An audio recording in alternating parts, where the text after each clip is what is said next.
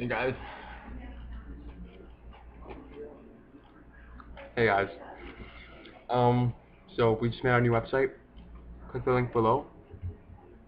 Um, why should they check out our website, Jake? It's got a lot of shit. I'll help you out.